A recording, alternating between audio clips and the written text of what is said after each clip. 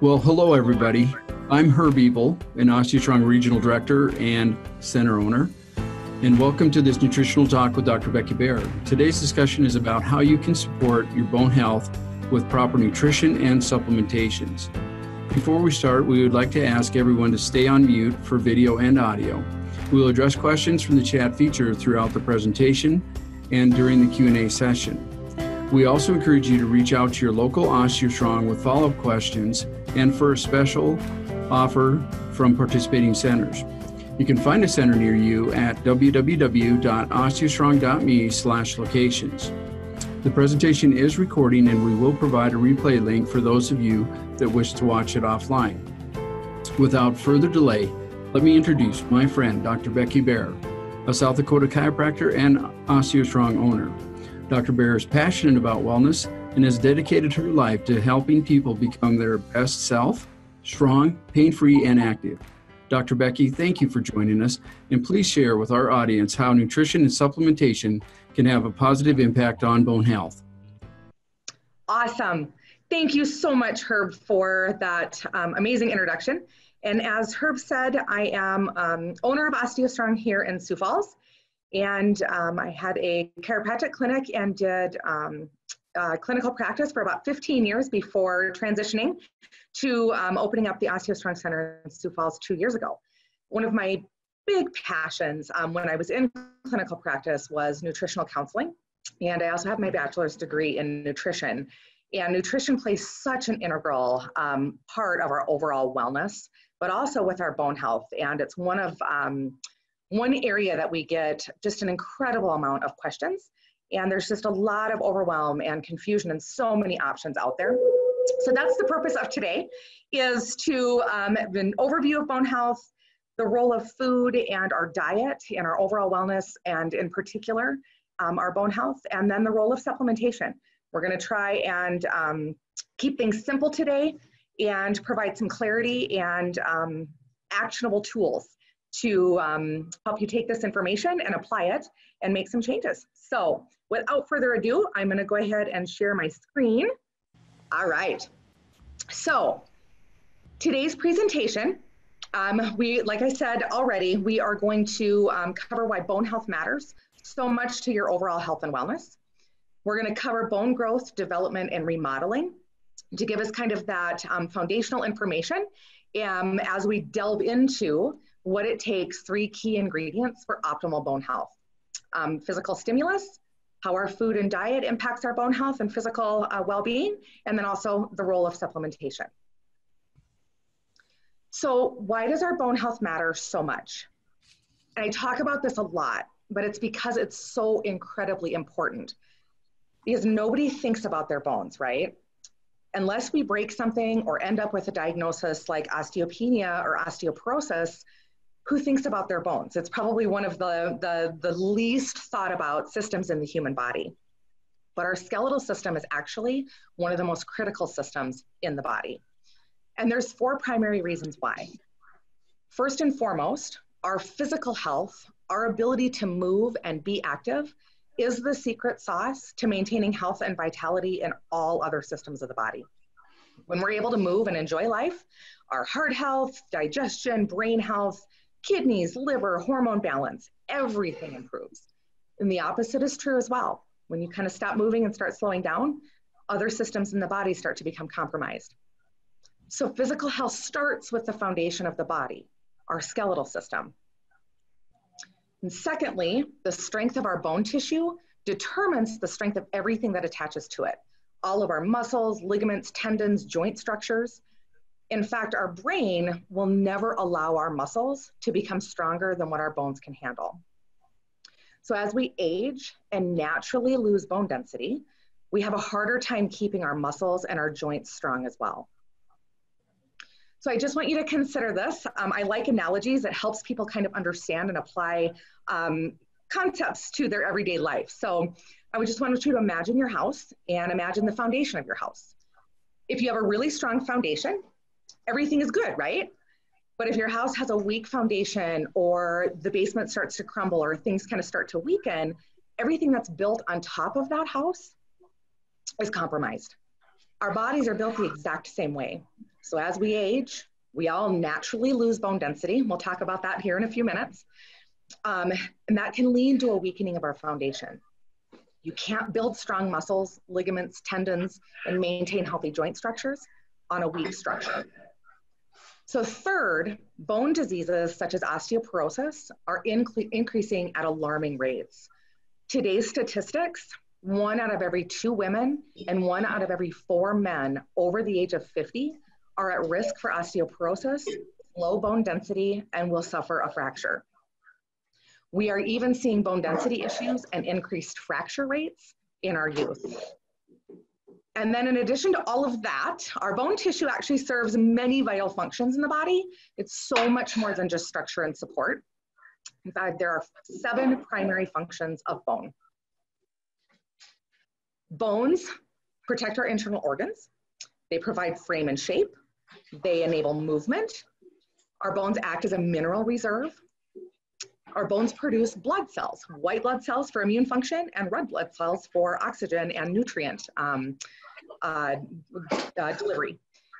Our bones um, have a vital role in hormone regulation, and our bones actually help to detoxify the body as well. So as, as um, much neglect as we, uh, uh, our, our bone system is that we don't think about it, it's incredibly fascinating. So before I move on and start talking about optimal bone health um, and the role of food and nutrition and supplementation and all of that awesome stuff, I wanna touch briefly on bone growth, development, and remodeling.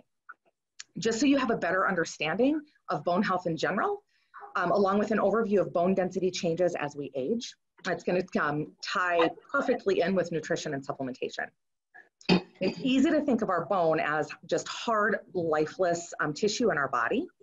A bone is actually living, growing tissue that's constantly being formed and broken down. So our bones actually remodel themselves every seven to 10 years. That's really cool.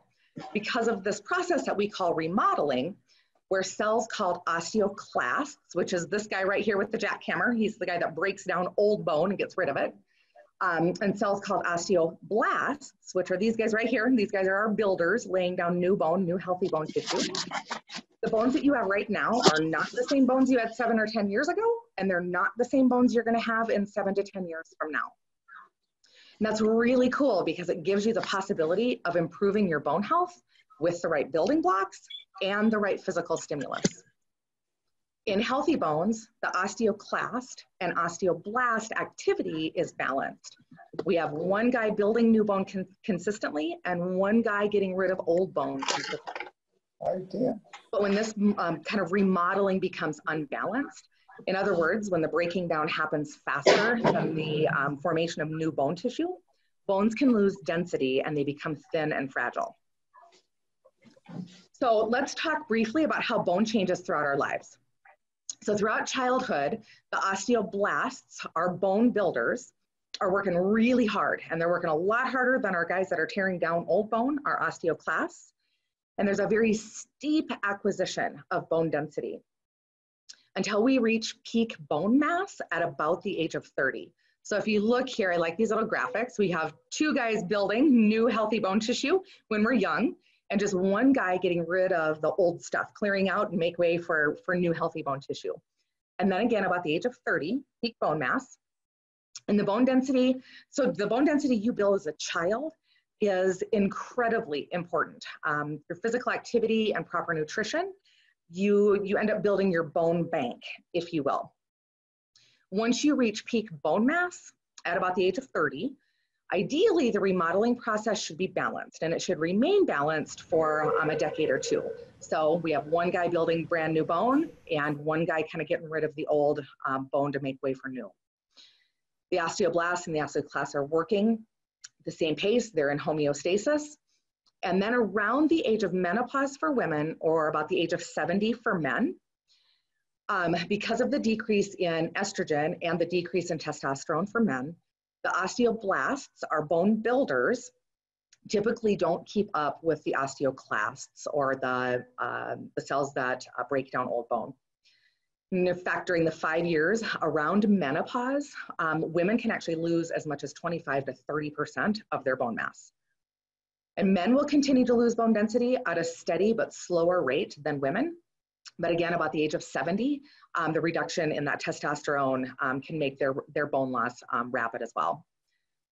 And this kind of remodeling process is happening to everyone.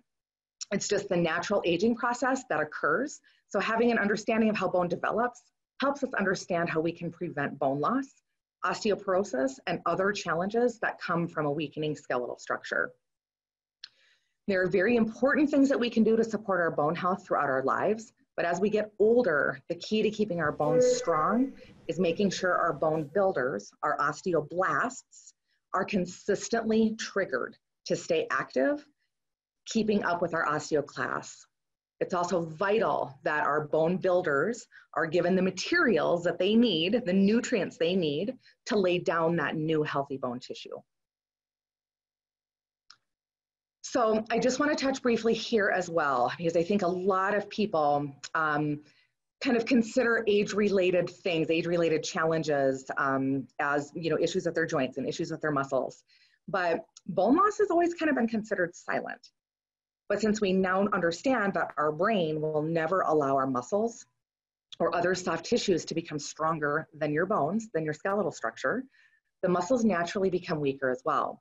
So if we look at this picture, on the left, you um, see this bone tissue here, healthy 30-year-old bone. And here's a picture of the inside of 50-year-old bone as it starts to get um, a little bit thinner, the holes are a little bit bigger. So you can kind of see it's less dense, it's weaker on the inside. And when the bones get weak, the muscles also get weak. So then here is kind of some um, age-related issues that we can that are tied directly to a weakening skeletal structure you know, back and joint pain, loss of flexibility, loss of joint motion and getting stiff, change in reaction time, not being able to stop a fall, change in posture, decreasing in balance, and just a general overall um, loss of strength. So let's check in with Herb. How's the chat doing? Any questions so far? Um, let's see, not quite through the chat yet. So just a reminder to everybody, there's a little uh, cartoon balloon in the bottom of your screen that you can click on and you can actually uh, submit a question through chat. So please uh, su submit your questions there. Please continue to stay on mute for audio and video if you would so we can get good uh, audio throughout the presentation. And then I do have a pre-submitted question that I think that would fit in this area here, Dr. Becky. Um, oh, awesome. Okay. Yeah, somebody was uh, kind of wanting to understand a little bit better about uh, balance loss and how that's uh, correlated to bone health, and why bone health is important if you're you're noticing some balance loss. All right, so balance is actually a, a really interesting um, phenomenon in the body, and our human body wants to stay upright and prevent a loss. Um, it's probably one of the number one protective features in the body. So balance is so important. We actually have two systems in the human body that monitor and um, maintain our balance. We have balance that is maintained neurologically, so by our nervous system, and that's our brain and our, our spinal cord. So that's like your reflexes. So if you kind of trip over um, a crack in the sidewalk um, or over a rug in your um, your kitchen, your nervous system instantaneously, reflexively, will try to rebalance you. But the other system in the human body that is responsible for balance is our musculoskeletal system. So our muscles, ligaments, tendons, and our skeletal structure. That's actually one of the biggest purposes of our um, joint structures. So as we age and you start to weaken and the muscles kind of start to become a little bit weaker, that balance system starts to become compromised. And so, if we can reestablish healthy joints, gain some flexibility back, and increase the strength, we naturally will just improve in our balance. And that's something that I think a lot of people don't associate with um, bone health in particular is balance. And that's how it works. So, great question. All right, so we're going to move on three key ingredients to building bone, building optimal bone health. So now that we understand the importance of our bone health, bone development and remodeling, some signs and symptoms of weakening bones and muscles, let's turn our attention to what we can do about it. So what are our choices if we want to actually build bone density and improve our overall physical health? Three key ingredients. Physical activity and osteogenic loading is absolutely vital and number one way to stimulate our workers, our osteoblasts, to lay down and create healthy new bone tissue.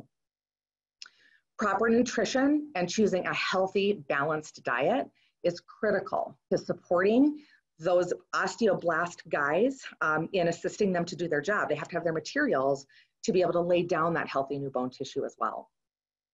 And then we're also going to be discussing the role of supplementation in optimal bone health and just overall wellness. We're going to learn without the proper physical stimulus to keep those osteoblast um, workers going. The body simply cannot build bone from raw materials and nutrients alone, and vice versa. Just like construction, we have to have the workers and their materials show up to the job to build any kind of structure. So first up, exercise. Exercise for strong bones. What actually increases bone density? We know that weight bearing and high impact exercises are best when it comes to bone health. But what does it actually take to increase bone density? Is walking enough? Do I need to be running? Um, do I just need to be lifting some free weights at the gym or doing yoga? That's what we're going to talk about. So we're going to start with a little bit of science lesson and we're going to go back about a century because we've known since about a century, over 100 years ago, based on what's called Wolff's Law, that your bones adapt to stressors or demands placed on them, similar to muscle tissue when you lift weights. When you put pressure or a compressive force, you can see this video here. That's just imagine that's your thigh bone being compressed. Your bone tissue responds by remodeling and becoming stronger. And it does this to protect you. A process called osteogenesis or new bone growth is stimulated. Our osteoblasts, our worker guys, are triggered to get to work and start laying down new bone tissue. Just like many processes in the body, our bone responds to the environment in which it's placed. So it would be no different than when your pupils dilate or constrict to protect you against light or dark, or when you shiver or sweat to protect yourself um, with temperature changes exact same concept. It's an adaptive response. So even though we've known about Wolff's Law for over a century, it actually wasn't until 2012 that a group of researchers discovered just how much force, how much compressive force it takes to stimulate osteogenesis at a pace large enough to outpace our bone loss. So building bone density, not just slowing it down. And what they discovered was really surprising. They found that it takes 4.2 multiples of body weight of force to stimulate osteogenesis in your hip joint. So if you weigh 150 pounds, that's a minimum of 630 pounds of pressure of consistent stimulus on that hip joint to build that bone density. So how in the world do we do this and do this safely? So what strengthens bone? Traditional exercise simply does not provide enough force. Walking and yoga and Pilates and stretching and balance exercises are all great forms of exercise and they help with different systems in the body, but they simply will not provide enough stimulus to the bone tissue to increase bone density. So if you look here on this chart, swimming and bicycling is zero multiples of body weight. Brisk walking is about one to two multiples of body weight running or jogging, and we're getting up to about three multiples of body weight. And jumping exercises and strength training is where we start to get into that four plus multiples of body weight. So exercise like gymnastics and powerlifting um, are great for building bone density, but there's obviously a really high risk of injury. That's where this concept of osteogenic loading comes in. It's the technology that we use at OsteoStrong that allows us to safely reach those types of forces often upwards of five to eight multiples of body weight, to stimulate osteogenesis naturally, to trigger those bone building cells to get to work, while kind of minimizing the risk of injury. When you focus on strengthening the foundation of the body, your bones, everything else strengthens right along with them. Posture and balance begins to improve. You become more flexible and agile. You reduce back and joint pain. You're less prone to injury. You have more energy. You're overall physically stronger And bone tissue, because of those additional seven functions, um, strengthening your bone tissue can also help with type 2 diabetes and A1C levels. So if you have type 2 diabetes, your A1C can also improve when you focus on the skeletal system. And that's what we do here at OsteoStrong all day, every day. Um, when you combine high impact forces and osteogenic loading with positive lifestyle changes, we're going to be talking about right now, amazing things happen to your overall health and wellness. So before we move on and start diving into nutrition, let's talk with Herb. How's the chat doing? Anybody putting some questions in there yet? Hi, Becky. Thank you. I'll just remind everybody that you may have to hoover down to the kind of the bottom of your screen to get that little balloon type window that comes up. You can click on to add a chat or a question. I did have one that was asking uh, about your recap on on the multiples of body weight. That was a very good slide you had there and helped out quite a bit. But they were interested in like how's it different than weightlifting and what what makes osteo OsteoStrong different than you know walking or weightlifting or you know other ways to load your body. Oh sure. So basically, weightlifting, unless you're like a power lifter, lifting multiples of body weight. So we know now it's multiples of your body weight. So lifting five or 10, you know, pound free weights is great for muscle tone and it's also can help with flexibility, but it is simply not, you know, where it's five to 10 pounds. That's, that's a fraction of your body weight. So it's not going to have that compressive stimulus that we need on the bone tissue to be able to stimulate that osteogenic um, activity, that new bone growth. And OsteoStrong is, is different primarily because the system that we use for osteogenic loading is basically a series of four machines. And each machine targets a different region of the body. So there's a lower body and upper body, a core machine, and a postural machine is what we call it. And by the time you've gone through the system, you've loaded with multiples of your body weight, all 206 bones of the body. But the beautiful part, the reason it's so incredibly safe, first and foremost, you're always taken through with a coach. So there's a set of eyes on you to make sure that you're in the right form but you're actually totally in control um, the whole time. And you're also put into your um, very specifically a uh, strongest range of motion position, but it's also the safest position for that region of your body to absorb a force. So the difference between just traditional exercise and weight bearing, unless you are a power lifter and you are doing um, you know multiples of your body weight, you know you're squatting four, five, six hundred pounds um, which there are people who are capable of doing that. Um, traditional weightlifting and traditional exercise just doesn't get you there. Just doesn't get you to those loads. So that's the difference. Very good. Thank you so much. Um, let's see. So there was one person that had just asked about their speaker. Um, just want to remind folks if you're having any trouble with audio, go kind of to your left or right in your bottom of your tray. If you're on a PC or Mac, there should be a little thing where you can click on your speaker and you can make sure that you're not connected to Bluetooth um, or that you're connected to the sound that you want to come out of your PC. Um, also, um, if you're on a phone, just be careful you're not connected to Bluetooth. If you're not getting sound, you might need to just put in your Bluetooth headset. But uh, let's go on and I'll keep looking for questions. All right, sounds good. So I think probably what everybody is um, here to learn more about, food and nutrition, and um, it's the next key ingredient to optimize our bone health and overall wellness, our food. So one of the biggest culprits of poor health today, guys, is that we simply just don't eat enough quality food. And what we are eating is causing a significant amount of inflammation, stress, and just kind of dis-ease in the body. And this is a true passion of mine. Um, so I can I can go really in depth with this. So I'm going to try and keep it um, simple and uh, not get overly uh, passionate. So, but I just want you, we're just going to cover this. Um, the human body is just a truly miraculous machine. It's capable of incredible feats of strength, intelligence, memory, learning, regeneration, balance. Our heart beats, you know, all on its own, and oxygen and all of that good stuff. The list just goes on and on. But it does require clean and constant building blocks, clean and constant fuel. In our case, food in the form of proteins, carbohydrates, good fats, vitamins, and minerals to be readily ingested. And if not, we start to break down and our foundation starts to break down, the foundation of our body. Just like in a vehicle, if you put bad fuel in it or use bad oil, the foundation, the frame will start to break down.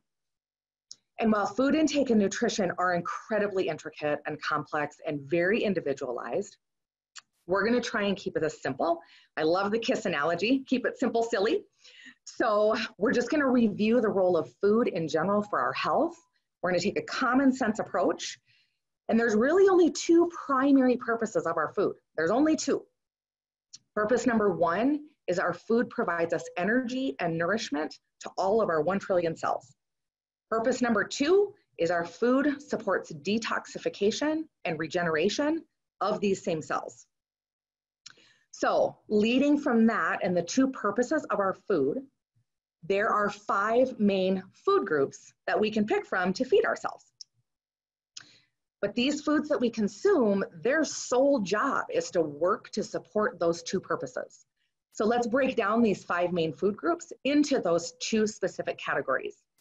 We have our meats, nuts, and seeds, grains, dairy, fruits, and vegetables, and which ones support which processes. So, purpose number one is energy and nourishment. Energy and nourishment primarily comes from our proteins, carbohydrates, and fats, which we collectively call macronutrients. They're primarily found in our meats, nuts, and seeds, and our grains and our dairy. Your body needs these nutrients in much larger amounts in order to function properly. So that's what the word macro means. So our proteins, carbohydrates, and fats are our macronutrients, and they're primarily given to us, sorry guys, um, from the first three food groups, meats, nuts, seeds, grains, and dairy.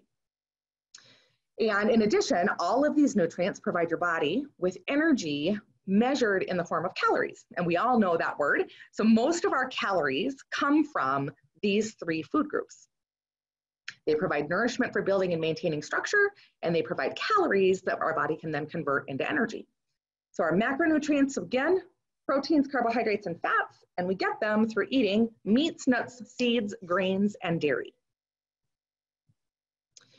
So I kind of kept that very, very simple, but I just provide this slide um, as an overview that while it's primarily energy and nourishment, there's always an overlap in all of our macronutrients and our micronutrients coming up.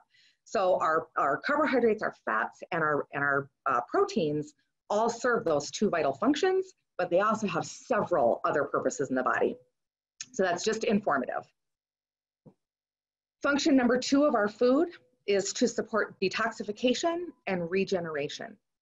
And that's the job of our vitamins, minerals, and antioxidants, collectively called our micronutrients. They're primarily found in our fruits and veggies, and your body needs these nutrients in much smaller amounts in order to function properly, just as the word micro, micro means. So that's where the word micronutrients comes from. They're just as important arguably even more important, just smaller quantities. So micronutrients are one of the main groups of nutrients that your body needs.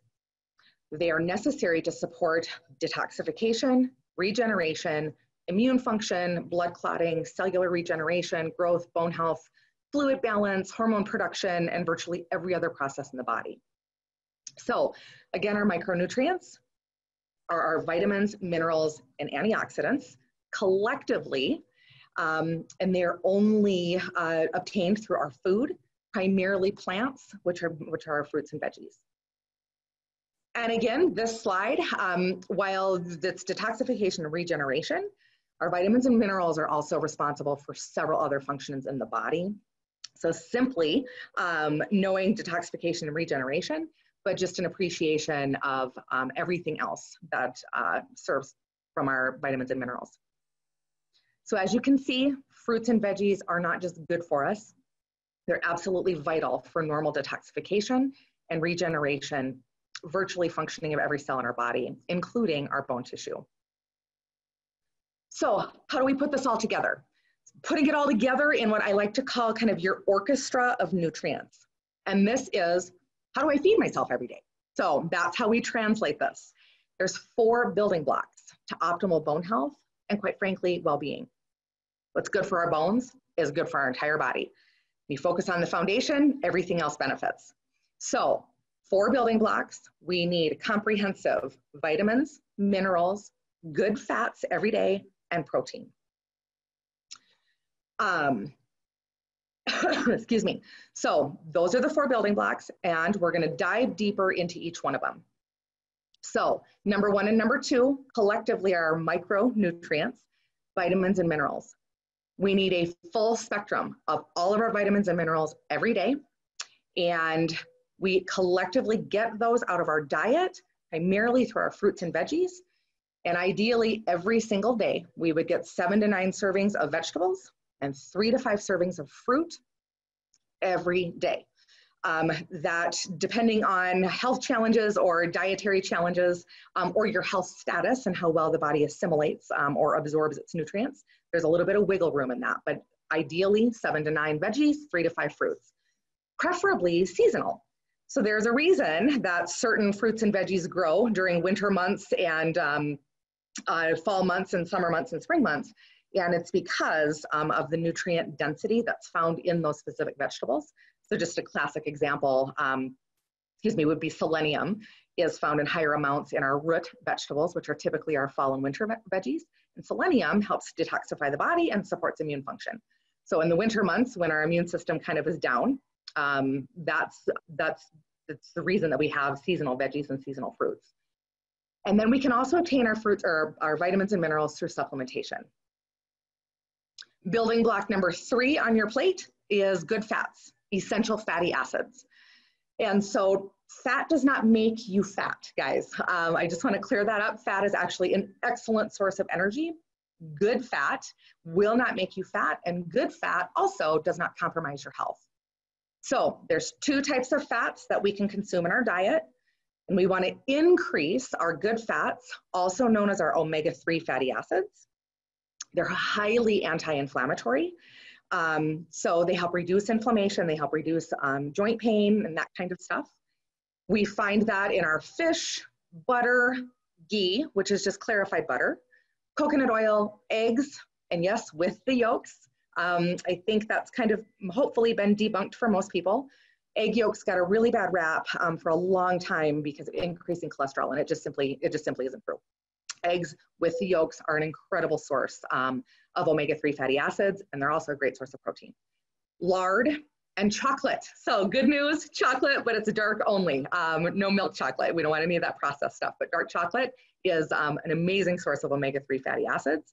It's also chock full of antioxidants. So that's the places you can get them in your diet. And then you can also supplement with a fish oil um, or EPA and DHA. It's very two very good sources of omega-3 fatty acids. We want to decrease our consumption of omega-6 fatty acids. Omega-6 fats are what we call bad fats. Those are the ones that will compromise your health and increase cholesterol and increase visceral fat. They're highly inflammatory, um, which is the root of most disease, most chronic disease in the human body. So eliminating the majority of these out of your diet on a daily basis is just a, a good idea overall, but especially for bone health. That includes vegetable oils, processed salad dressings, processed foods in general. Restaurants and fast foods typically have um, a significant concentration of omega-6 fatty acids. They taste good, which is why they're used in processed foods. Um, and restaurant food and fast food um, margarine, and most baked goods as well. And building block number four on your plate, um, probably aside from fruits and veggies, probably the most important. I love talking about protein. Um, protein is incredibly important for every system in the body, but nobody really thinks about protein when it comes to their bone health. But bone is actually 50% protein by volume. It's essential. Protein is essential to maintaining the structure of all of our connective tissue including bone. So it's essential for all of our muscles, all of our ligaments and tendons, but we have connective tissue that includes our skin as well. Um, our digestive tract is made up of connect connective tissue. Our heart and our blood vessels are connective tissue, and they all require protein, and bone is no except exception. Protein actually provides the house, if you will, um, the bony matrix. If you remember that picture of the bones earlier on, you can, it looks like a honeycomb inside of our bones, and that's a protein matrix, is what that's called. that protein matrix basically forms the house for calcium and magnesium and all of our bone building nutrients to rest in. So that's, that's where that, all the nutrients get deposited. So if you're not taking protein, you can't build your, your protein matrix in your bone. There's no place for the calcium and the nutrients to attach. How much do we need? So minimal amount of protein in grams per day is about half your body weight. So again, if you weigh 150 pounds, you need about 75 grams of protein minimally. Ideally, um, as long as you don't have compromised health, so people who have kidney disease, um, you need to visit with your healthcare provider, but ideally um, and optimally, you'd want about 70% of your body weight every day in protein. And I included this graph, protein content in common foods. So you can kind of see um, how much protein is in, you know, a, a typical you know, chicken breast or a typical egg or typical glass of milk, that kind of stuff. And you can kind of just gauge in your own kind of average day where you're at with your protein consumption. So putting it all together, this is a great visual. I love this food pyramid um, from Dr. Mark Hyman. So as you can see here, the four building blocks are the base of this triangle the majority of your plate for bone healthy diet and nutrition, along with just healthy diet and nutrition, period. Lots of veggies on the bottom. Here's your healthy fats and your protein, fruit, and then your starchy veggies at the top. Everything else um, should be a treat. So, any questions before I move on to supplementation? That was a lot, but I'm hoping that I, I kept it simple and brought some clarity, Herb. So. Yeah, thank you, Becky. You're doing great. I did have a question. It was about the protein. Someone okay. was asking, um, they thought it was mostly about the calcium or milk. Can you dive in just a little bit deeper when protein comes into play? Yes. Um, so I think that's part of the reason that um, I really brought it to light today. And that's one of the conversations, you know, when I was in clinical practice with my patients, and then certainly um, with people that we work with now that's probably one of the biggest misconceptions is that as long as I'm drinking my milk or taking my calcium supplements, I'm fine. And because we know that bone is 50% protein, if you're not consuming enough protein, and I think a lot of you will probably be surprised, if you start adding up your protein um, count, your protein intake on a daily basis, you're probably not there um, where you need to be.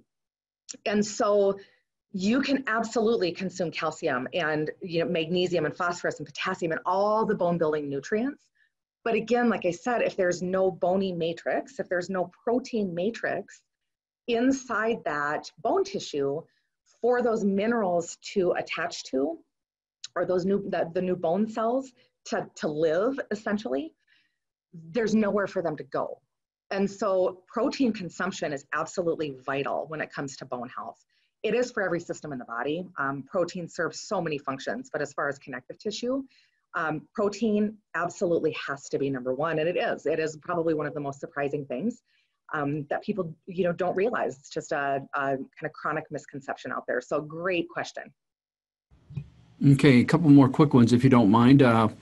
Uh, someone is asking about calcium and magnesium supplements. How much should we get? So we are going to be moving into that right now. So um, calcium and magnesium, we'll talk about that just baseline for kind of every human body. And then people who might need to um, consume more of both of those and forms and how to get it and what should be combined and not combined. Perfect. Let's go there and then uh, there's a few more questions, but I think I'll hold until Q&A. Awesome. Perfect. So we're going to move on to the role of supplementation. And again, we're going to try and keep this simple. Um, I've kind of um, discovered just a very, very easy approach to supplementation, and again, kind of common sense. The number one question, this is the third and the final key um, to optimize uh, bone health and overall wellness. The number one question is, do we need to supplement? And the short answer is yes. And I'll talk about three reasons why. But before we get into that, I just want to clarify that supplements are just that. They're meant to supplement a good diet, to bridge the gaps of what we're not getting or consuming on a regular basis. You cannot supplement your way to optimal health in any realm, whether it's bone health, heart health, brain health, digestive health. You cannot supplement your way to optimal health if you're eating food that's highly processed and inflammatory on a regular basis. So, number one is those four building blocks. That's what your plate needs to look like the majority of the time through the day. And then we supplement to bridge that gap. So, do we need to supplement? Yes. And here's why. Number one, everyone knows that eating a wide variety of health foods is crucial for good health. But in our busy lifestyles, it's very difficult to, re- to eat you know, perfectly right all the time and get all of your nutrients. Those nine servings of veggies and those three to five servings of fruits, your micronutrients, especially every single day, becomes very, very difficult to get everything you need. But avoiding or eliminating what's bad for you is just as important as consuming stuff that's good for you. So even though you might not be able to get your nine, um, you know, veggies and nine servings of veggies and three to five servings of fruit, that doesn't mean that McDonald's is okay. Does that make sense? So it's very difficult to get what we need in every day, but it's not because we're eating stuff we shouldn't be. Number two, if you try to maintain a healthy diet, our modern food processing um, tends to rob our food of essential nutrients anymore. Our food is heavily processed by the time it actually hits our supermarkets. And just as an example, refined white flour contains less than a quarter of vitamin E and B6, magnesium and manganese. Um, and it's also devoid almost 100% of zinc by the time it actually is taken out of the field, our wheat, processed and put onto our grocery store shelves. And number three, our modern lifestyle, stress, lack of sleep, exercise, and the environmental toxins that we're exposed to all deplete our micronutrients, especially the micronutrients, the vitamins and minerals that act as antioxidants or those anti-aging um, uh, detoxification nutrients. So supplementation to optimize and restore those depleted micronutrients has become very important in this day and age in order for our bodies to function optimally, especially detoxification. So now that we know supplementation is important, what do we need to supplement? It's the next question. And this is where I take a very, very, very minimalist and common sense approach. I always like to say that we have to cover our bases, our basic building blocks, just like our diet, before we get fancy. So there is a million choices out there. Um, every grocery store, um, the big Walmarts, Targets, the health food stores have thousands of things to pick from, and it's just incredibly overwhelming. But we now know the two purposes of our food, the four building blocks to an optimal daily diet. We know that we need to supplement, so let's just take a step back and say, okay, what do I need to supplement? Supplementation is meant to bridge the gap in our diet. So we don't get fancy and and say we're going to supplement with B12 because we, you know, in B12 only because we need energy. Or we're going to supplement and take a vitamin C all on its own because we want to have a healthy, strong immune system. Because that's not the way our food works, guys. So if we're going to supplement, let's supplement with as food like as we possibly can. So food comes with many, many, many vitamins, minerals, proteins, fats, um, you know, carbohydrates. So we can't just go and pick in our garden um, a vitamin, you know, uh, B12 um, vegetable and eat that, or just um, uh, you know a steak full of antioxidants. So the number one, number one thing that you need to be supplementing with before you start to look at anything else is a very good, very high quality, very well formulated multivitamin that covers all the bases. It's just like it's just like swallowing food. It has all your, you know, a full spectrum of vitamins and minerals in it, antioxidants, hopefully a few other things added to it to, assim- to help assimilate and digest and be absorbed through the gut. But a multivitamin is absolutely essential. The number two essential is an omega 3 fatty acid, only because, so fish oils, only because we live in such an inflammatory um, and highly stressed environment. So the two building blocks for supplementation, the two foundational supplements everybody needs to be taking, the very good multivitamin and a fish oil or an omega-3 fatty acid supplement. Beyond that, we do any kind of additional supplementing based on an individual's um, you know, basically assessment of an individual. We will, you know, additionally supplement based on gaps, specific gaps in your diet. So you're just not a meat eater, you don't like protein. We might need to talk about getting you on a protein powder. Um, maybe you have celiac disease and you can't eat gluten and it's very restricted. You probably need to talk to you about supplementing in addition to a multivitamin and an omega-3. Um, specifically for bone health. If you have a diagnosis of osteopenia or osteoporosis, we need to talk to you about additional supplementation to support that bone health. Primarily calcium, D3, and K2 over and above a multivitamin and an omega-3 fatty acid. You can't just take a calcium because you, you have to bridge the gaps in your diet for that supplementation and for everything to build on its, on its own. And then we also will talk about supplementation for specific health challenges.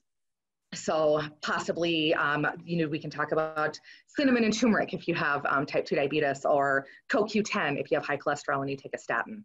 So we do accessory or targeted fancy supplements after we've found a good quality, well-formulated multivitamin and omega-3 fatty acid. So let's talk about nutrients specifically for bone health.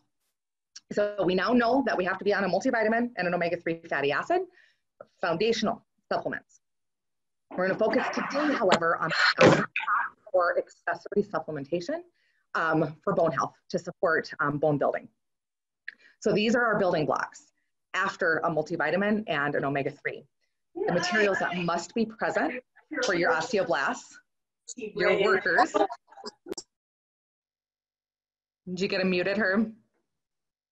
Yes, I did. Thank you. Sorry about the interruption. No problem. Um, the materials that must be present for your osteoblasts, those worker guides, to use to build that strong foundation. So calcium and vitamin D are what we call the dynamic duo for bone health. Calcium is the mineral that makes your bones strong, and, cal- and vitamin D is um, the vitamin that we have to have to get that calcium out of, out of the digestive tract and get it to absorb into the body. So the two go hand in hand. You can't um, efficiently break down and absorb calcium without vitamin D. The amounts that you're going to need vary with age, but calcium specifically needs to be every single day. You need 1,000 to 1,200 milligrams per day between your diet, which you're, what you're getting through your food, and supplementation.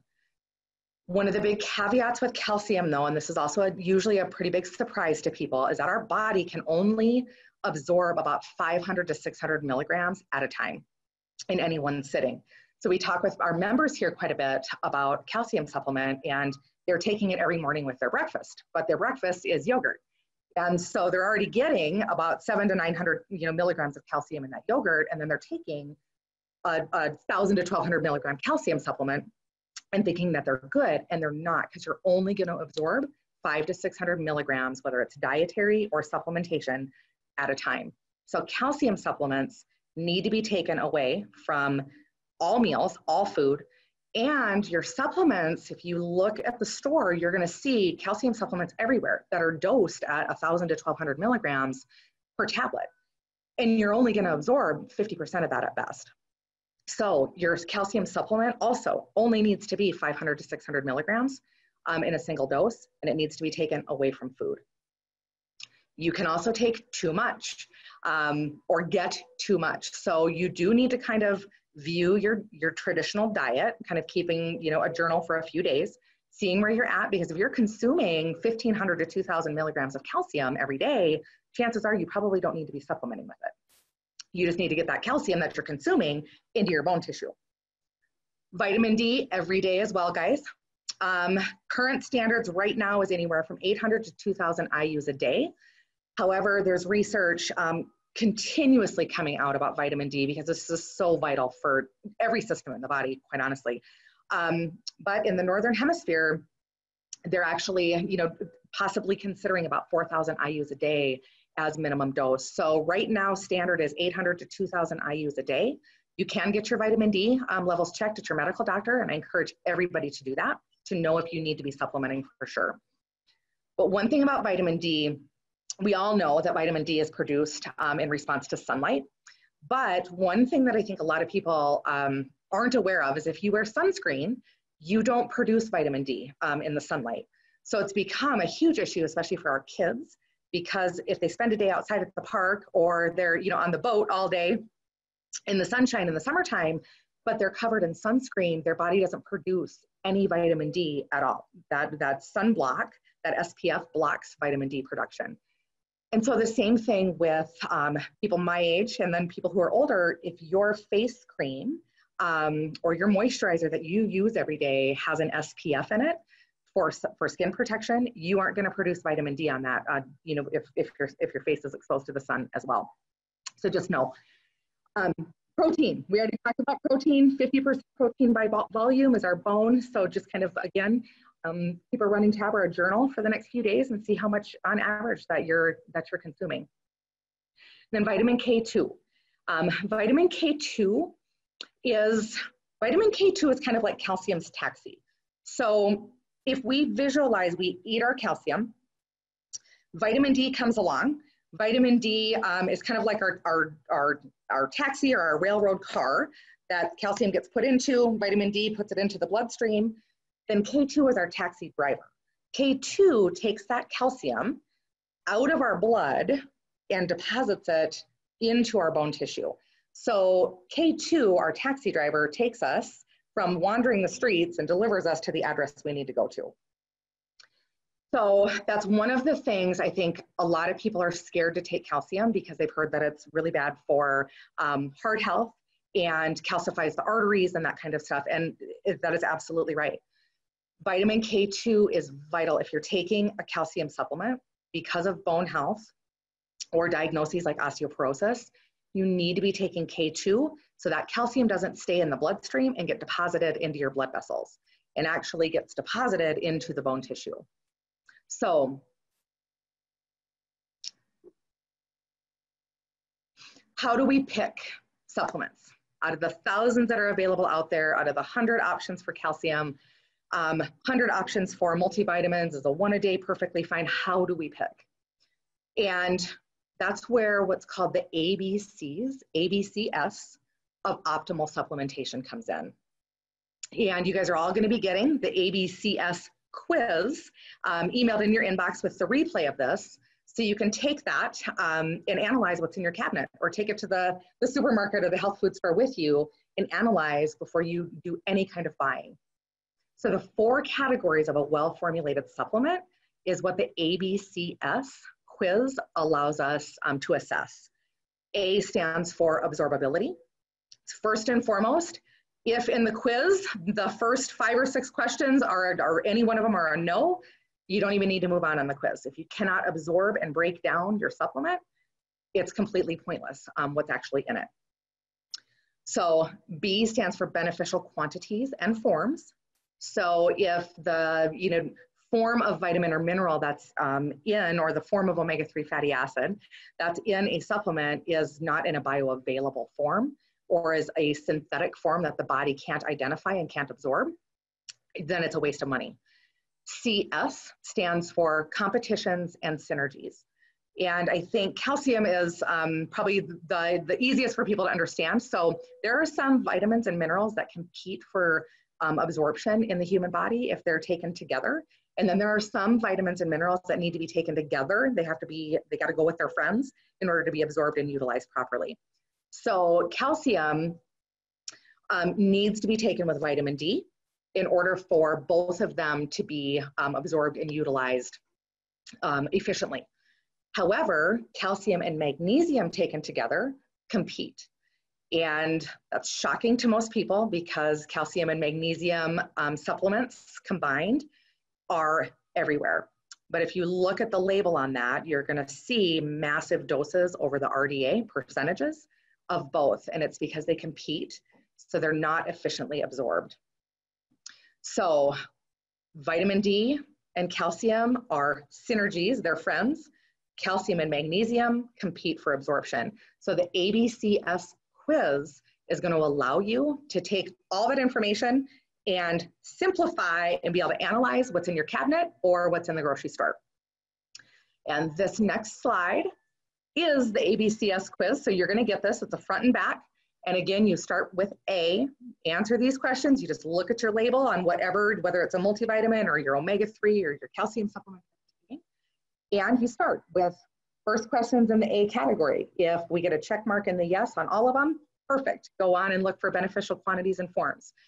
If all the beneficial quantities and forms are in there, perfect, that's awesome. Then we wanna make sure that there isn't stuff in there um, that shouldn't be, or there's all the stuff in there that should be to make sure that um, supplement is doing its job. This is going to be emailed to all of you, so you'll be able to download that, print it out, or keep it on your phone so you have it with you when you get to the supermarket. There. And because of these ABCs, ABCS of supplementation, and to try to keep things simple and as an incredibly awesome resource, especially for our members here at OsteoStrong, we carry um, a brand of Calton Nutrition.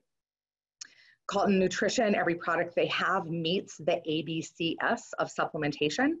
Um, their multivitamin, omega 3, calcium, D3, K2, and their protein are just um, incredibly uh, good, well formulated, very high quality um, supplements.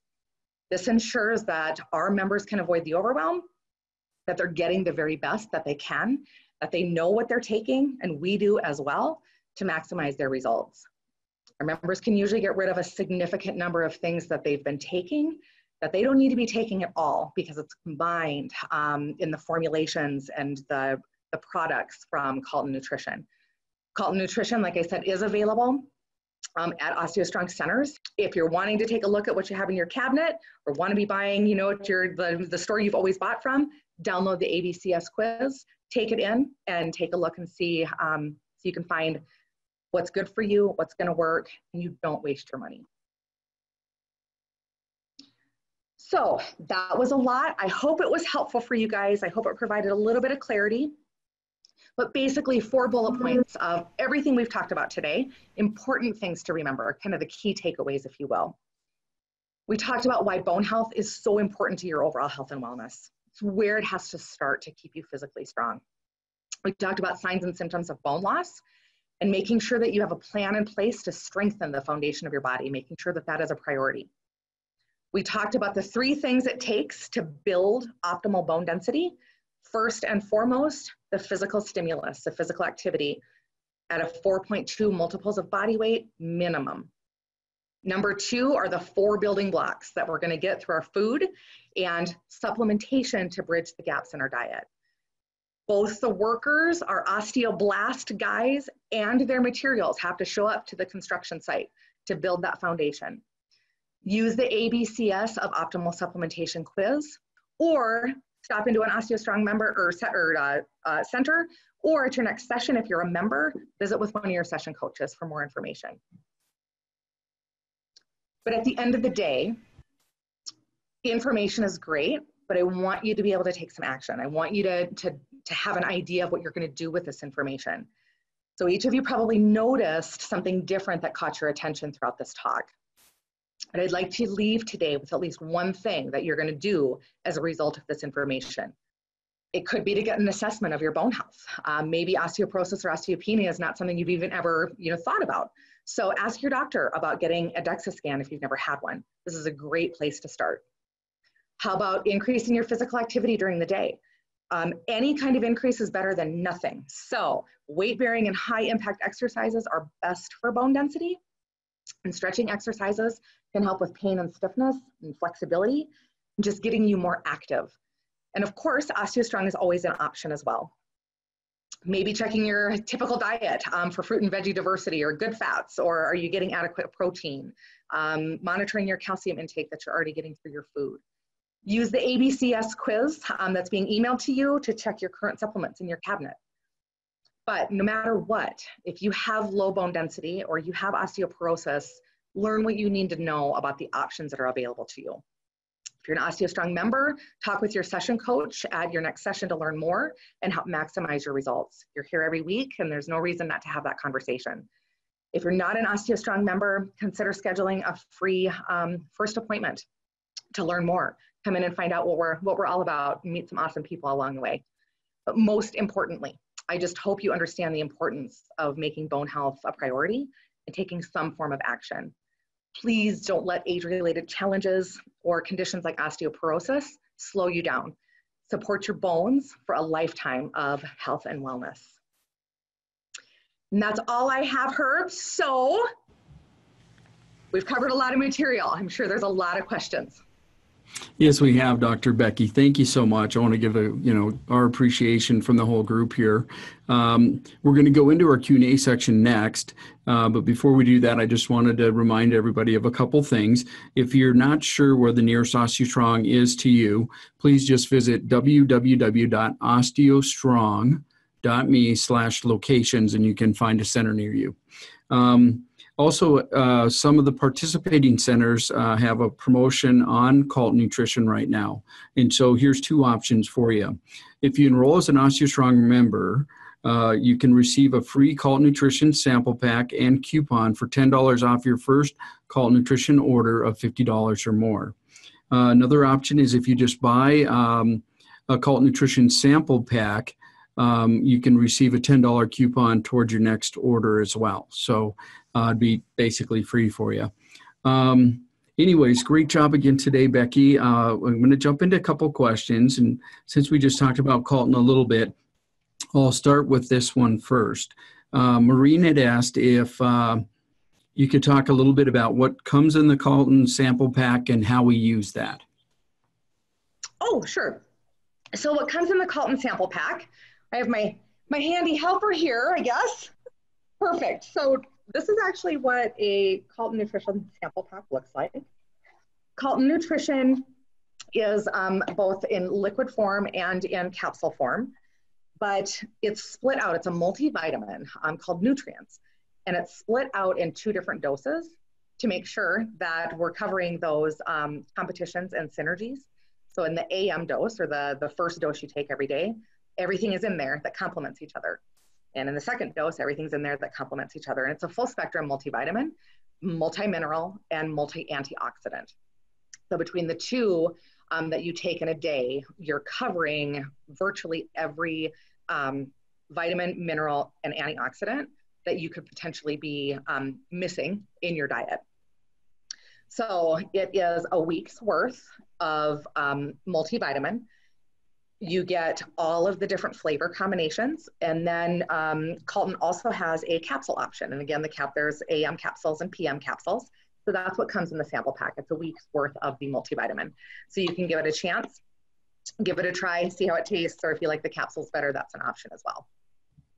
Thanks, Becky. If you want to stop your presentation. Oh, uh, yes, I apologize. You'll be able to see if you want to hold that box up for them again. You're holding the box up, but they probably couldn't see that yet. Um, so that was good.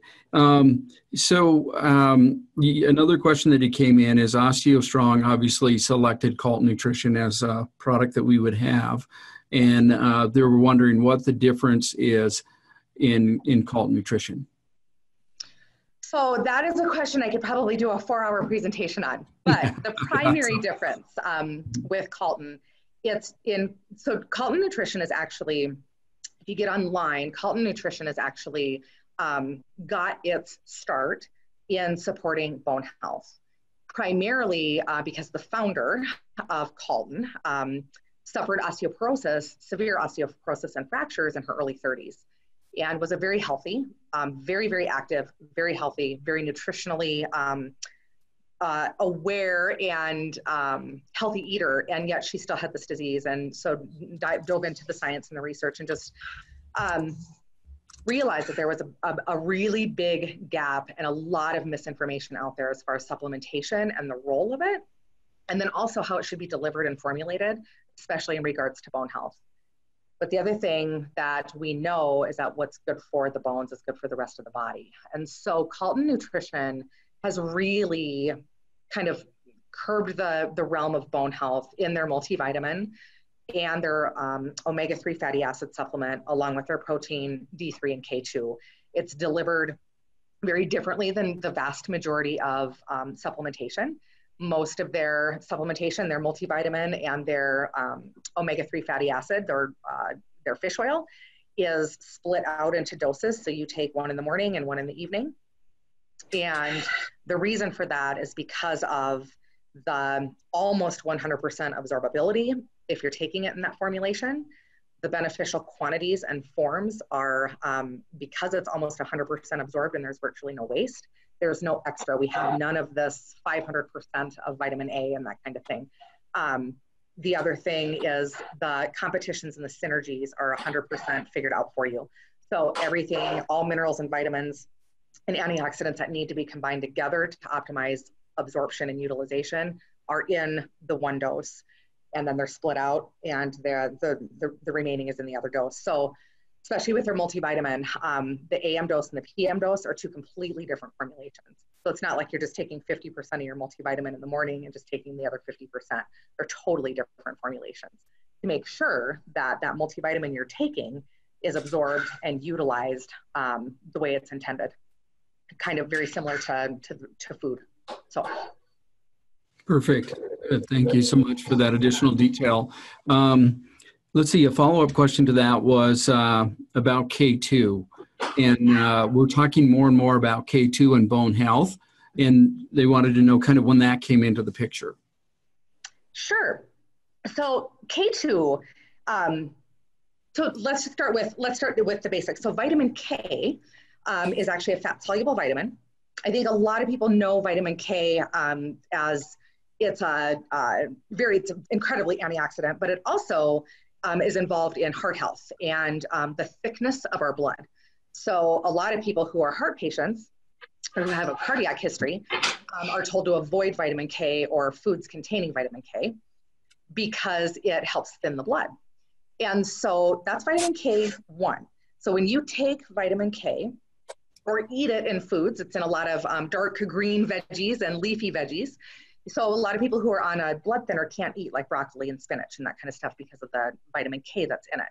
But when you consume uh, foods that are high in vitamin K, as soon as that hits the stomach, it's broken down. And then it's broken into two different forms. There's vitamin K1 and vitamin K2. And they serve two completely different functions in the human body. Vitamin K1 becomes our blood thinner. And it's a much easier form um, for the body to convert. Vitamin K2 is what becomes our taxi driver to deliver calcium out of our bloodstream and into our bone tissue. But to get the vitamin K2 form to convert in our digestive tract, vitamin K has to ferment. So it's a fermentation process, meaning you have to have really good, healthy gut bacteria in order to, for that process to happen. But because most people, and especially the older we get, have suboptimal um, gut health and a lot of issues with good bacteria. Traditionally, vitamin K is not, um, it's not very efficiently converted to K2. So if you eat a lot of calcium or you take a calcium supplement, you're lacking vitamin K2 conversion in the body. And so it gets stuck in your bloodstream and you end up with calcified arteries and that kind of stuff. So a lot of cardiologists will tell their patients to not take a calcium supplement. They're dangerous but it's because they don't have K2 to get it out of the bloodstream and get it into the bones. So, knowing this in the last probably five to 10 years, there is now K2 that is processed and fermented into MK4 and MK7. So you're going to see that on any vitamin K. Um, you don't need to go into the, the details of that. You just know if you see that, it, those are, that's what you want. Um, but it's fermented into MK4 and MK7. You can take that, so the body doesn't have to convert traditional vitamin K, you can take it um, all on its own, shelf stable, it needs to be suspended in fat um, or in oil because it's a fat soluble vitamin. But you can take that and then your calcium is automatically deposited into the bone tissue. So that's kind of the story on vitamin K2 in, um, in a nutshell. So. Very good. Thank you so much. Appreciate that. Um, please just a reminder to keep yourself on mute so we don't have the background noise and use the chat room. Um, let's see, I got another question for you here. It's uh, how do you get all these supplements in if you can't take them with food and you can't take them with magnesium? What is the suggested schedule for taking the supplements? So um, I think that pertains a little bit to the Calton, and uh, that would help to maybe kind of explain that if you can. Oh, sure. So really, um, we don't want you taking your vitamins with food because you're going to absorb the nutrients out of your food. Um, the body, like I said, you know, with calcium, and most vitamins and minerals, the body can only absorb a certain amount at a time. But having said that, um, especially a very well formulated multivitamin that breaks down rapidly, whether it's in liquid form or just is um, in a, in a veggie, veggie capsule that's very easy to break down, because there's no actual true digestive process that has to happen, that's typically all absorbed into your bloodstream within about 20 to 30 minutes. So a really good formulated multivitamin, if you take that 20 to 30 minutes, either you know before a meal then then you're good to go. So maybe you get up in the morning, you take your multivitamin, sit down and have your cup of coffee, and then you eat breakfast. Um, or, or the same thing at lunch. You know, as you're preparing your lunch, just make sure and take your multivitamin, heat up all your food, wait 20 to 30 minutes and take it that way. Or same thing, you know, before you go to bed at night. So it just needs, we don't have to have hours and hours, you know, in between food and, and taking um, uh, supplementation. So I hope, did I answer that question, Herb? I hope I answered that right or I answered that completely. Yeah, I think you did. I have a follow up that might be related.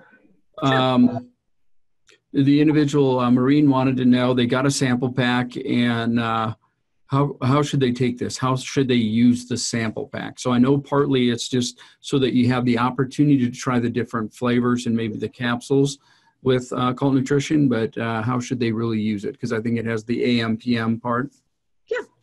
So the AM PM, there's actually there's directions on there as well, but the AM and PM, you need to just take you need to take the AM in like the first half of your day and the PM in the second half of your day. So those need to be taken 20 to 30 minutes before food. So a perfect schedule for that would be, like I said just now, um, taking the AM, you know, with your first cup of coffee, and then waiting just a little bit, 20 to 30 minutes to have breakfast and then maybe mid afternoon taking the PM or taking the PM right before you go to bed, um, just so that it's outside of a window of the body needing to digest a meal.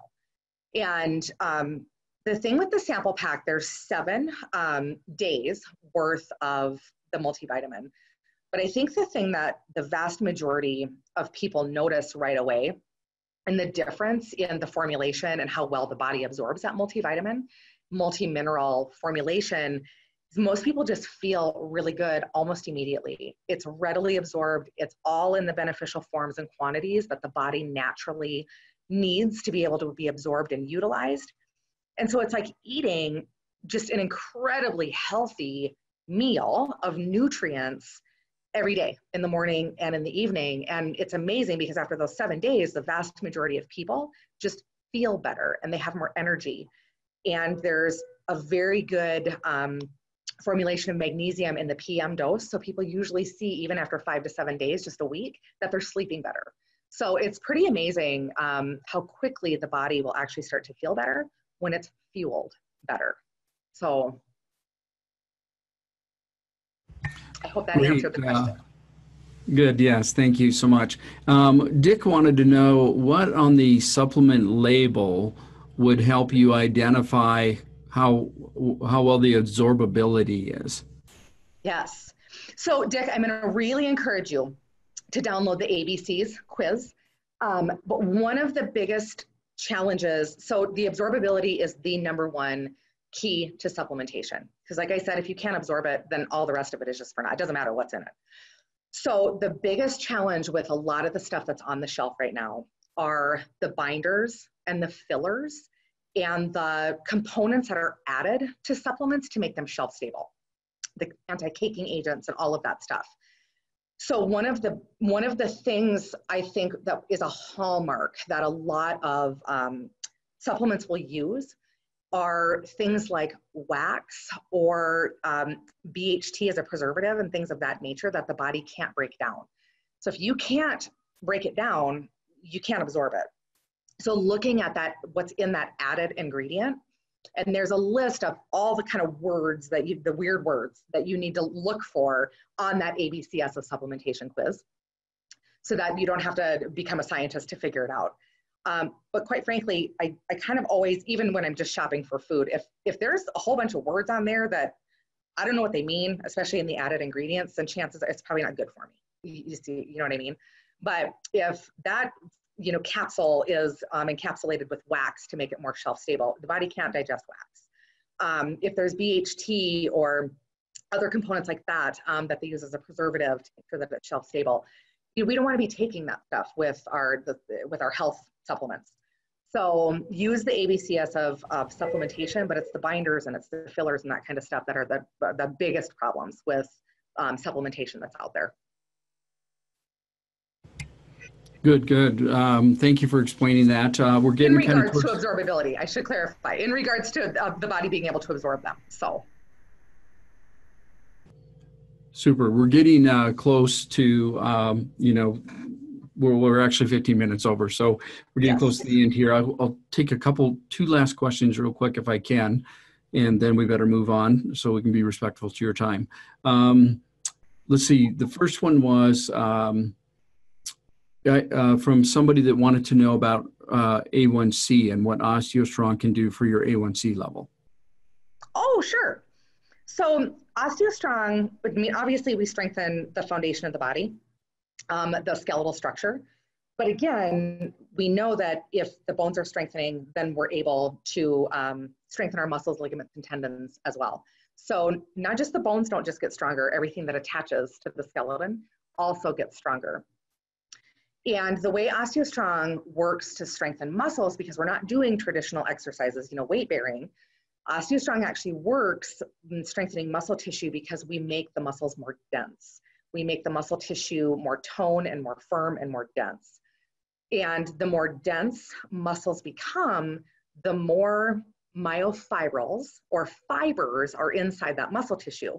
And those fibers are what um, allow muscles to uptake glucose from the bloodstream. So the more dense your muscle tissue is, the more muscle fibers there actually are, the better the body is able to utilize the glucose. Um, and it also creates more insulin receptors. So the, the glucose is taken out of the bloodstream, lowering your A1C levels and your blood sugar and uh, making the body more efficient at processing that sugar. So that's how we help with type 2 diabetes. Uh, for somebody that has osteoporosis, what makes um, OsteoStrong safe and effective for them? So that's one of the biggest challenges because when you're compromised to the point where you have a diagnosis of osteoporosis, the very types of exercises, the high impact, high uh, weight bearing exercises start to become dangerous um, because the, the risk of fracture is a very real thing. So the foundation, the founder of OsteoStrong actually, the, um, our, our system was developed by a biomechanical engineer, and Dr. Jaquish was his name, but he developed it um, only because he, his mom was diagnosed with osteoporosis. She has celiac disease, so she can't take it, couldn't take any of the medication. And so he just started researching, you know, exercises, like an exercise program, you know, to help his mom. And when he found the 4.2 multiples of body weight and you know, what, what the research was, was saying, that's when he started tinkering and came up with the spectrum circuit. But what makes it so safe um, are several things, but I'm just going to cover the top two. First and foremost, the, the equipment here doesn't do anything to you. You are 100% in control the entire time, and the amount of pressure that you're able to generate is from your own muscular strength. And because we know the muscles will never outpower the skeleton, the likelihood of you being able to generate enough compressive force if you're in the proper form, position, um, to generate enough force to actually hurt yourself is very, very, very slim. So it's an incredibly unique, just very, very powerful system that's incredibly safe for that very reason because you're totally in control of your own session every week when you come in. Then the other thing is you're always with a session coach to make sure that you maintain that form and make sure that you're doing the equipment properly every single week. So whether this is, you know, you've been with us for a week or you've been with us for five years, you're always with a session coach to have that second set of eyes. So it's just incredibly safe for people who are compromised with their bone density. Very good, Dr. Becky. Thank you so much for that explanation and thank you for the wealth of knowledge you shared with us today. We appreciate you and uh, are just so happy to have this time with you. I want to go ahead and start to conclude by saying thank you to everybody that attended and thank you for the great questions that you put out through the chat room. That really helps us kind of get through them more quickly. So we sure appreciate you using that uh, capability within the, the video call. Um, lastly, I just want to say that uh, we're planning. Um, uh, well, May is National Osteoporosis Awareness Month, right? So in May, on May 5th, we're going to have another talk that'll deep dive into some other areas. Um, I think we're going to call it Healthier Bones for Life. And again, that'll be May 5th. So thank you very much for uh, attending today. And remember, uh, if you've got more questions, you can reach out to your local center and you can find a center at www.osteostrong.me slash locations. Thanks so much, everybody, for attending, and thank you, Becky. Thank you very much. I hope it was helpful, and I hope it um, provided some value and gave you guys some clarity, and you know what your next action step is going to be. All right. Until next time, have a great day.